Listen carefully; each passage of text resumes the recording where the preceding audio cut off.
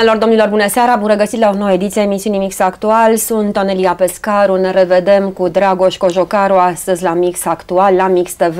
Ne auzim și pe Radio Brașov, pe frecvența care face diferența. Dragoș Cojocarul sau uh, cel mai fotbalist dintre avocați, cel mai avocat dintre fotbaliști, un om care a condus ani buni uh, baroul Brașov, un om care are deja foarte multe cărți scrise, un om care a socotit uh, de cuvință să adauge uh, la salba asta de cărți uh, pe care nu mai prididește să le scrie. Mi-a spus că are foarte multe uh, de spus și de împărtășit cu noi. A scris o carte biografică, o viață, uh, parafrazați un francez celebru, nu? V-ați gândit la uh, lecturile tinereții și ale adolescenței când ați ales o viață sau ați spus că fiecare viață până la urmă este unică și fără de, fără de, de egal. O viață de poveste avem astăzi uh, în față la Mix Actual și doar câteva zeci de minute în care să povestim de viața de poveste și de cel care urmând urmând o serie cu care deja ne-a obișnuit, pentru că noi aici la emisiune am mai povestit despre cărțile lui Dragoș Cojocaru, care atenționează în legătură cu ceea ce se întâmplă pe tărâm românesc. Avem Salvați România, nu are legătură cu partidul, cu formațiunea politică, da, care salvează România. Bine ar fi ca toate formațiunile politice să pună umărul și să o facă, dar Dragoș Cojocaru ne-a vorbit despre uh, România sub hipnoză, România în comă, România încotro, România meditează, deci iată titluri, uh, titluri care toate pun pe gânduri. Bună ziua, bun revenit! Bună ziua! Avem multe de povestit și mi-ați spus că vocea dumneavoastră nu e în cea mai bună formă astăzi, dar Din păcate, uh, da. scoatem ce putem. O viață la bară. Sau de la bară la bară, cum, uh, cum ați ales titlul unei cărți. Da, o altă carte, da. Realitatea este următoarea, că pentru a scrie o asemenea carte, eu am fost determinat de o serie de prieteni care au considerat, poate că pe drept cuvânt, nu sunt convins de lucrul ăsta, au considerat că am avut o viață destul de tumultuoasă. Merită să, să fie așternută și spre neuitare. Este tocmai și poate numai așa în, cât, în, în scurte paragrafe să amintesc doar că, mă rog, dumneavoastră ați spus-o cu fotbalul, într-adevăr am jucat la cea mai bună echipă din țară la vremea aceea și, și acum, mă rog, la CCA, Steaua, cum era, mă rog, Uh, și asta a fost una, unul din motivele care m-au i-au stârnit, de fapt, pe prietenii. Stelistul de la drept, da? Să mă convingă, da. Uh, da, fotbalist dar, și nu orice uh, fotbalist, dar avocat și nu orice avocat, pentru că acum foarte mulți fac facultăți pe bandă, dar de fapt obțin doar o diplomă. Nu mă provocați. Să nu vă provoc, nu? Că ați cam scris și de, și de ăștia, nu? Nu, vă rog. Nu vă doare sufletul când vedeți atâția uh, absolvenți de drept, oameni juriști, declarați, uh, ba chiar avocați și magistrați, care nu prea știu carte, domnul. Eu trebuie să, să fac o precizare. Acum, aici provocată dumneavoastră, și anume, iată că în uh, municipiul ăsta Brașov, de-a lungul timpurilor, n-au fost decât în jur de 100 de avocați. 100. Bun, 94, da, buni. 90, așa. Așa, mă rog. Uh, printre alte, o bună perioadă de timp am fost și decanul acestui barou, așa că le-am cunoscut și preocupările și inclinațiile care le-au avut și mai ales profesionalismul dumnealor. În momentul de față nu sunt mai, nici mai mult, nici mai puțin, de 600. 600 sunt în barou. 600 sunt în barou. Uh, Pe mâna la câți v-ați lăsa ca profesioniști? Ca profesioniști am să vă spun Tot 100, nu, nu e mai puțin adevărat, nu. Nu, nu e mai dreaptă. puțin adevărat că a apărut proprietatea privată. Ceea ce uh, determină uh, existența, din păcate, și a altor numeroase procese. Suntem mai uh, procesomani. Acum avem nevoie, deci, mai, de mai mulți avocați. Mă forțați să spun un lucru. Știți păi care este rolul meu să vă forțez. Știți care e cazul cel mare? Necazul cel mare, și o spun, o spun cu o bidă, de fapt, necazul cel mare este că o bună parte, o majoritate așa aproape zdrobitoare din țara asta, cunosc legile. Noi nu prea le mai cunoaștem și nici chiar avocații nu le cunosc așa. În schimb, uh, sunt tot felul de, de explozii ale cetățenilor prin care încearcă să-ți demonstreze, încearcă să te și convingă și nu numai pe noi, așa, ci din potrivă să uh, convingă autoritățile cum că aia nu e bine și aia altă nu e bine și așa mai departe. Știam medicină, știam fotbal, acum de ce să nu știm drept cu toții, nu? Deci toată lumea Asta se pricepe. Și în medicină, și din păcate, și în medicină, din păcate, se întâmplă aproape același fenomen. Ba mai mult, chestiunea care este de un ordine de a spune amprenta din punct de vedere uh, structural în ceea ce privește avocatura în sine, lucrurile stau în, în felul următor. Uh, există o amprentă generală, adică, iată că pe vremuri au fost trei facultăți mari, așa, în România, Cluj, Iași și București. Care e a dumneavoastră? Poftiți? Care e a dumneavoastră? Două dintre ele am ținut. adică... Nu s-a putea mulțumi cu una singură. No. Dragoș Cojocaru. No. În anul am mai făcut o facultate, după aia, facultate de relații internaționale, dar uh, am, uh, am transferat în anul de facultate de la Cluj la București. Păi, stălistul? No. Da, de la Cluj la București. Uh, Necazul este însă mai mare în rândul magistraților decât în rândul avocaturii. Și iată de ce. Păi acolo e mai delicată treaba. Avocatul, până la urmă, își câștigă existența prin... Prin procese. Direct mă rog, la luptă acolo. Angajamentele care există. vedeți ce se întâmplă cu ei. Dar se întâmplă niște lucruri care sunt nu știu dacă sunt premeditate sau nu premeditate, însă eu am fost, iată, spre exemplu, săptămâna trecută, în uh, instanță și am intrat într-o sală de judecată ca să constat cu stupefacție că judecătorul din ziua cu pricina și lucrul ăsta se întâmplă, s-a și perpetuat și se întâmplă în permanență, avea numai puțin de 58 de cauze. Este în acea peste, zi. În acea în acea zi. 58 de 58 cauze. de cauze. Bun, dar cât putea să stea este fizic? Până la 10 seara. De dimineață. De dimineață. Și tot n-ajunge. Și pentru că... Tot nu. Tot nu. Și atunci uh, am să vă spun un lucru. Uh, bine, bine, dar înainte ce se întâmpla? Înainte, nu, uh, uh, uh, înainte vreme, intrau doi judecători, numai la cauzele de-astea minore, popriri sau nu știu ce, de-astea intra un judecător. În erau... Dar în rest erau doi judecători. Unul mai în vârstă este drept și celălalt mai tânăr stătea și învăța pe lângă dumnealui și așa mai departe. Dar și îl ajuta în același timp.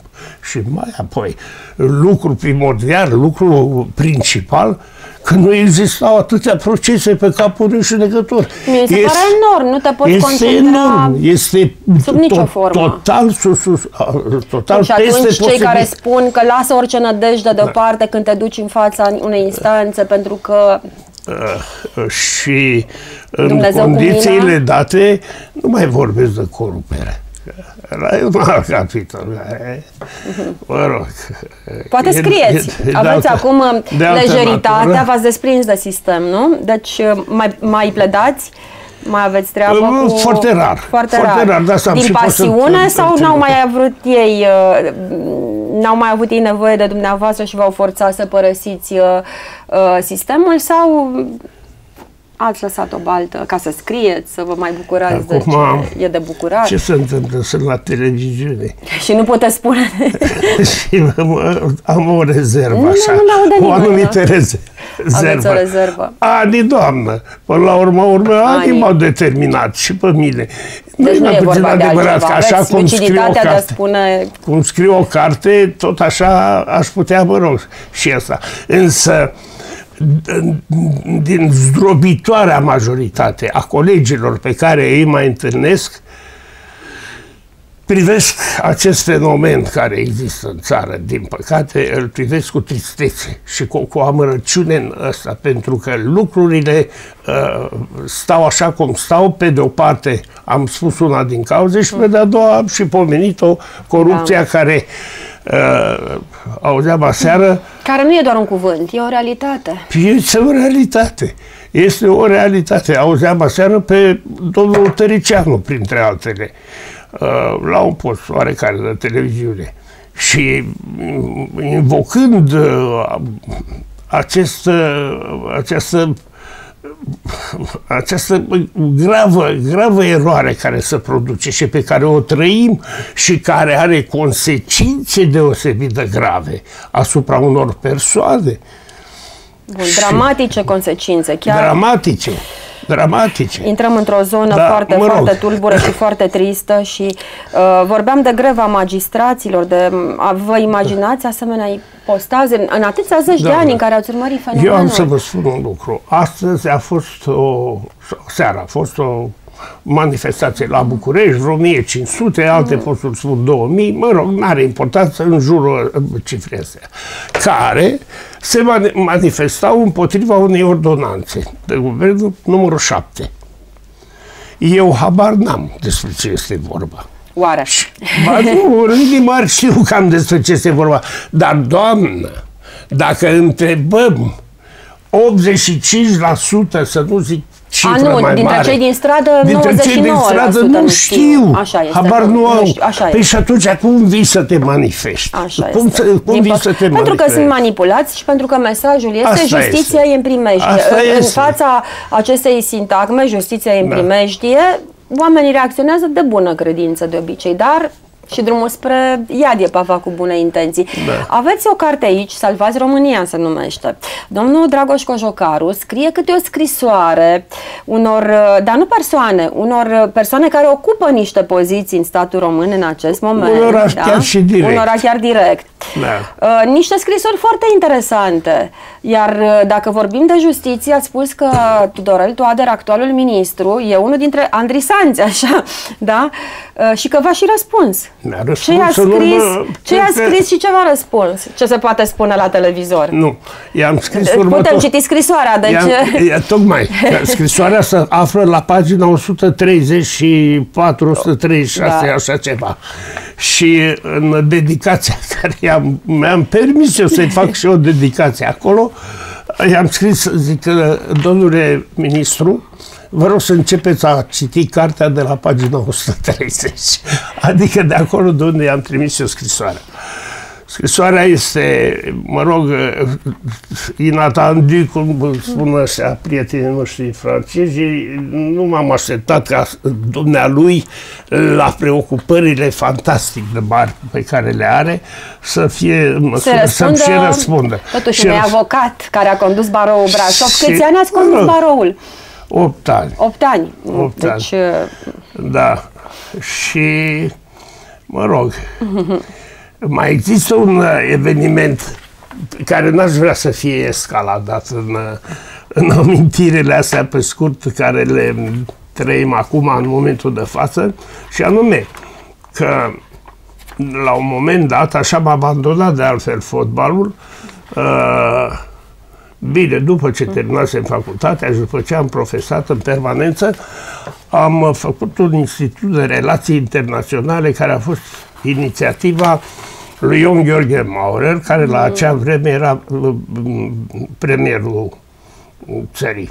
Și dumnealui a făcut această, a, a inovat această, mă rog, uh, acest institut, pornind de la ideea că în confruntările pe care le avea cu, cu cetățenii care ocupau diverse posturi, mai mari sau mai mici pe la ambasade, avea de trăit uh, niște stări nu prea corespunzătoare. Și atunci am înființat acest institut despre care vorbesc în carte.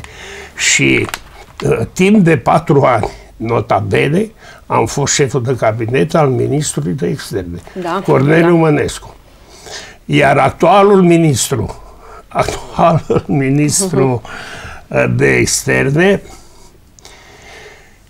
Teo Meleșcanu mi-a fost coleg la acest Era institut, colegul dumneavoastră, la acest bun? institut. Un băiat foarte bun, iar râdeam de altfel. Lui a scris? Socotiți ceva. că merită o scrisorică sau lui nu i-a scris? Ce spun, nu, că i-am făcut o vizită. Lui. Și a transmis pe viu ce aveați de spus. Am făcut o vizită la minister și, mă rog, Bun, am... ideea este că lui Tudorel Toader a scris că pentru juriști autentici reprezintă o adevărată mândrie. Deja v-ați pus în cap o grămadă de oameni. Sunt convins de lucrul ăsta. Deci numai pentru propoziția asta. Dar și chiar și, și din tagma din tagma noastră. Da, tocmai aia vreau să spun. Vă dați seama că Pentru deja v-ați făcut că... dușman, dar nu vă mai da. temeți. Înseamnă că aveți relaxarea, cum spuneam, de a putea spune niște lucruri fără să vă mai intereseze consecințele. Uh, consecințe acum împotriva mea, doar așa, eu știu să mă huide pe stradă, nu mi s-a păi întâmplat Păi nu știu dacă v-ar mângâia o, o jurătură acum. Dar, bă. atâția ani de carieră. Nu vi s-a întâmplat încă, dar amenințări, ați fost jurătură. avocat, ați da. fost implicat în procese de tot felul, ați fost în penal, uh, au fost și clipe grele. S-a întâmplat să fiți da. amenințat, să fiți... Uh, Niciodată. Nu. Niciodată. Las că ies eu de aici Niciodată. și te aranjez. Niciodată. Mm. Am avut am avut o, o, o cauză foarte interesantă, încerc să, să o concentrez eu asta. A venit la mine un cetățean de origine, mă rog, maghiară să-mi spună că a pierdut aici un proces uh-huh. cu o casă, cu familie, cu nu știu ce. Uh-huh. Și că s-a strămutat cauza la Miercurea Ciuc. Am dus la Mercurea Ciuc împreună cu el, dar tot dumnealui a fost cel care mi-a declarat să știți un lucru, nu avem nicio șansă. Mm-hmm. Zic, bine, dacă nu avem nicio șansă, atunci de ce mai angajezi un avocat? Uh, zice, păi, na, na, na, na, na, na, că trebuie să ne luptăm cu ei și cu tare. În fine. Mm-hmm. Ați câștigat? Nu, n-am câștigat, dar frumusețea este alta că m-am dus la ora 9, am ajuns în Miercurea Ciuc, fix 100 de kilometri Brașov, Miercurea Ciuc, și l-am rugat pe colegul care era, mă rog, maghiar, așa, și l-am rugat, haideți, domnule, să luăm cauza mai repede. Și după vreo jumătate de oră, o oră, l-am observat, cred că și acum e la fel, am plasat acolo tribunalul, că intra jos cu, cu cel pe care l apăra, intra jos la cârciumă. Oh, m-am dus atunci cu telefoanele, nu existau, am sunat secretara și am spus amânăm cauzele mele care sunt la Brașov. A revenit pe la 12 și jumătate, închei povestea imediat și, și zice că să mergem să, nu știu ce, să luăm cauza. Răbdare. M-am dus, m-am uitat, am văzut că mai sunt șase cauze încă am văzut și lumea cu acolo, pulsul îl cunoaștem noi după, mă rog, experiență. Și atunci l-am invitat sau m-a invitat cel pe care l-am reprezentat eu la restaurant, peste drum. Am venit peste vreo oră și nu știu cât, mă rog, și am intrat în sală și a ținut pledoaria adversarul meu timp de vreo trei sături de oră, numai în limba maghiară. Minunat. Minunat. După care am susținut instanță. Nu cunosc niciun cuvânt în maghiară. N-am înțeles nimic. Dacă e să luăm această perioadă de viață, deci fotbalist la Steaua, uh, avocat atâția ani, uh, șef diplomat. de cabinet, diplomat, uh, da, deci șeful de cabinet al ministrului de externe, sus, sus de tot, nu? Se întâmplă asta în ierarhia socială. Care perioadă v-a fost cea mai dragă? La ce vârsta lui Dragoș Cojocaru, la ce poziție ați rămas așa cu inima, cu gândul, cu nostalgia? Toate vă construiesc, toate au dus la cel care sunteți astăzi și care a scris această Pot carte, să... în care sunt sigură că are o experiență importantă. Să... Niciuna pot să, să, dintre profesiile care le-am uh, încercat și care le-am realizat. Și acum scriitor, da? Că da niciuna nu mi-a displăcut.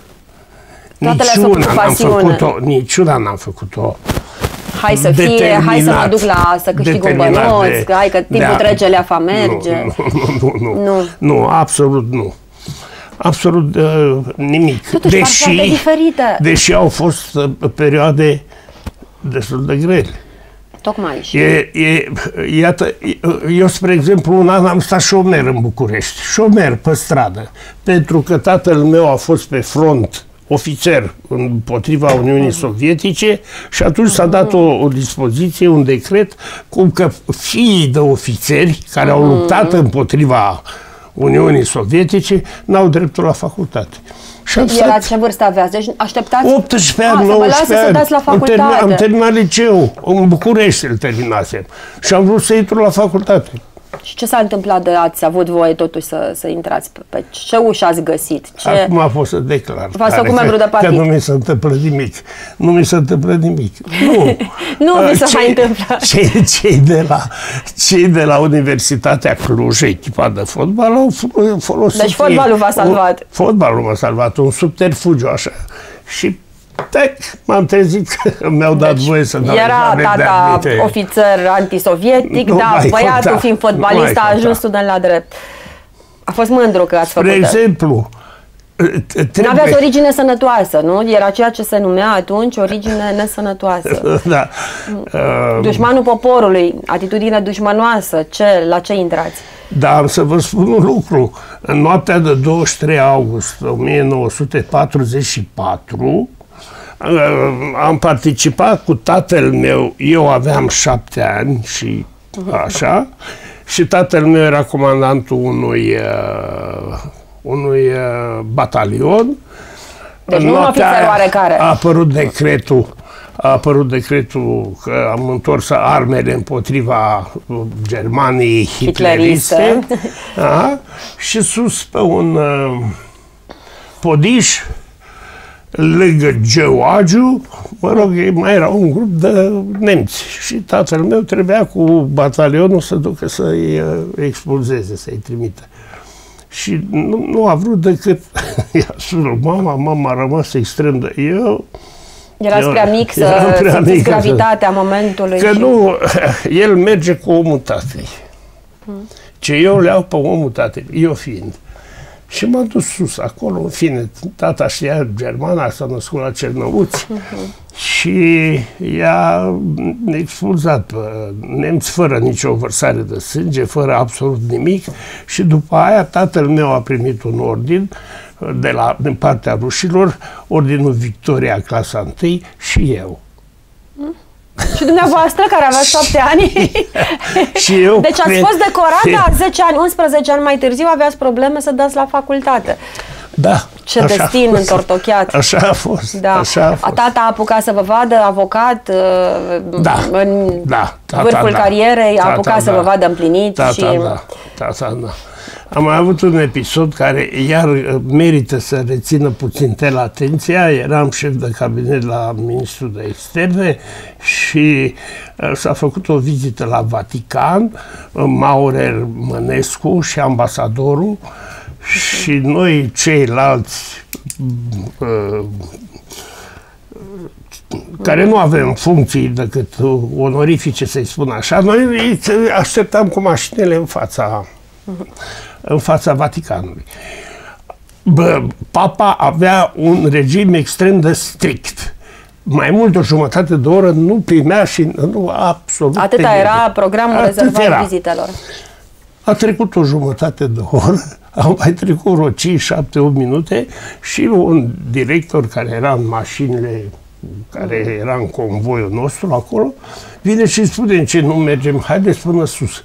Unde sus, domnule? La papă. Păi nu le mai dau drumul nici ăștia. Haideți, domnule, în fine, mai trec câteva minute, mă convinge el și mă duc. Când am ajuns în anticamera papei, bine însoțiți de prelația aia de acolo, mă rog, uh-huh. când am ajuns, s-a deschis ușa și a apărut papa. A apărut papa cu însoțit, în dreapta Maurer, în stânga Mănescu, și atunci Maurer s-a simțit obligat să ne prezinte. Noi ne-am refugiat, așa ne-am prea lângă perete, că sunt cu noi. Bine, și atunci a făcut o afirmație. Uh, papa. zice, omul, premierul țării dumneavoastră, eu, Gheorghe Maurer, este un om deosebit și din cauza asta am depășit și protocolul. Mă rog. Iată, da. Când am dat așa, zic, domnule, noi eu trebuie să plecăm, îi spun la directorul ăsta, trebuie să fugim cumva, să ajungem la mașini înaintea lor. ne apucăm, ne apucăm, ne facem un semn discret, unul dintre subordonația aia ai papei acolo. Mai stăm noi două minute, trei minute ca păjar și vine la un moment dat cu o tavă. Și pe tava aia era pur și simplu N-am prea spus eu la multe, de multe ori în viață episodul ăsta. Și am luat, era o punguliță așa de, de uh, piele de căprioară era. Dar mă rog, uh-huh. dar eu am luat-o imediat, am pus-o în buzunar, că trebuia să ajungă înainte. Am ajuns înainte, am plecat la hotel, unde după amiază erau convorbiri, nu știu ce, și Mănescu, m-am dus la el imediat în apartament, foarte încântat că, uite, po, po, po, ce i s-a întâmplat, că... Uh, ce conținea punguța? Papa. Punguța. Am băgat mâna în buzunar, am scos punguța, am și acum un medalion de aur. Wow! Din partea, din partea papei. papei. Da. Ce frumos! Din partea papei. L-am scăpat cu mare greutate, am vrut să-mi fie însușit. De da, au revenit mulți la el, da. deci are o valoare și sentimentală și profesională, cumva, un moment deosebit din viața dumneavoastră. Sunt multe asemenea episoade, cartea este groasă, da. 532 de pagini. Uh, pentru cine ați scris-o? Cu gândul la cine? Se spune că ăștia tineri nu mai citesc deloc, ei le știu pe toate, legile le știu toți, uh, nu mai, nu mai are nimeni nevoie de învățătură. Acum Cine sperați să, să se aplece asupra ei? Să vă spun o realitate pe care am trăit-o zilele trecute, că mă rog, am mai transmis-o la cartea, abia a apărut, mă rog, am mai transmis-o la 2-3 dintre prieteni și unul a avut inspirația să spună, după ce a citit-o, că este incomplet, că anumite escapade eu le-am evitat. Le-ați evitat pentru că erau prea picante, pentru că nu vreați să supărați, pentru că sunt prea multe de spus și nu le-ați socotit destul Acum, de vreți să importante. Vă, vă spun o realitate. Cine susține că într-o viață oarecare N-am mai călcat puțin fel în dreapta Da, ați mai scris din astea cu pași pe care, în care ați simțit că acum cu da. Nu, nu, Liniștea anilor pe care aveți, Am... vă întreb, ne spuneți câți ani aveți acum? 83. 83 mulți înainte. Da. E o seninătate da. a vârstei. Poți spune, am călcat mă copii și greșit, mi-am mai revenit, m-am echilibrat. Uh, mm. Nu știu dacă am scris în o carte, N-ați dar scris că verba volant. M-am referit la alții.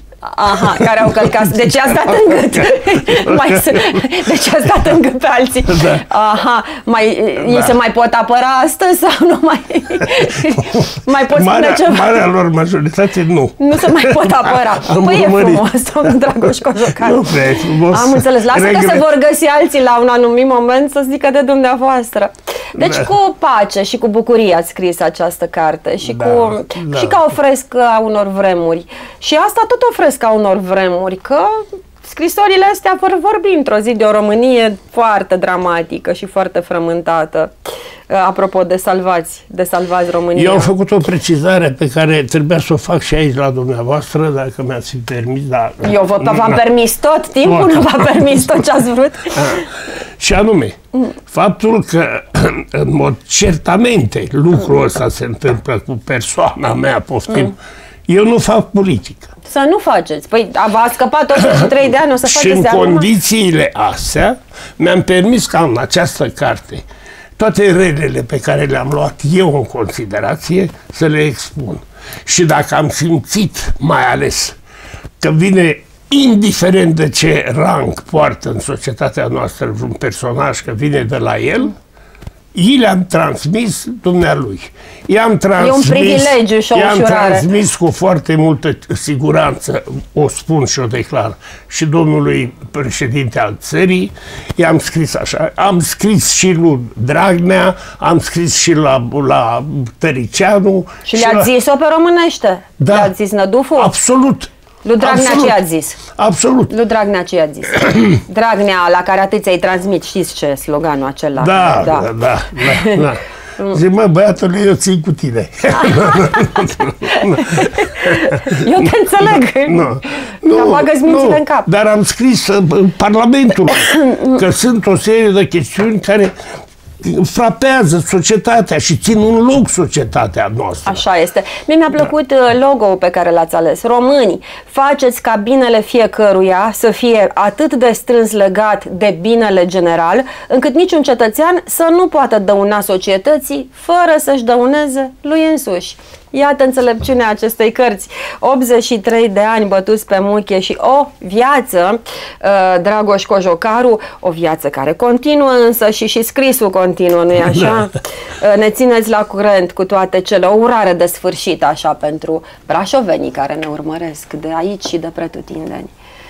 Uh, E mai greu, că aș face mai multe urări. Uh-huh. Dar, în fine, dacă e să aleg... Avocații vorbă lungă. Dacă e să aleg măcar una dintre ei, să fie foarte atenți pe unde calc. Și să fie foarte atenți la vorbele care vin din jur. Uh-huh. Pentru că vin o serie întreagă de așa zise, sfaturi, zvonuri care nu se confirmă până în momentul în care nu ai reușit tu ca persoană să te convingi că lucrul ăla este, nu este bine făcut, nu o fă, nu striga, nu, nu alerta ieși în stradă, nu populația, urla, nu, nu- urla, nu alerta populația și așa mai departe. Nu semnaliza, cum să mai Nu spunem. semnaliza, da. Am înțeles. Deci, practic, rezistați la manipulare. nu vă lăsați manipulați. Mulțumesc mult! Dragoș Cojocaru, invitatul meu astăzi, v-am spus că nu încăpem în emisiune. Nu încăpem niciodată. Uh, invitatul meu la Mix TV, la Mix Actual și la Radio Brașov. Omul care a scris o viață, o viață care mm, poate stârni oricui admirație, invidie, o viață plină de pasiune, plină de credință, plină de luptă și de convingeri. Le-a șternut pe hârtie o parte dintre ele. Hai să citim această carte, să avem ce să-l întrebăm și data viitoare. Mulțumesc mult pentru prezența în Vă această mulțumesc. emisiune. Ne-am văzut așadar pe Mix TV, ne-am auzit la Radio Brașov, Onelia Pescaru. Sunt o seară excelentă tuturor.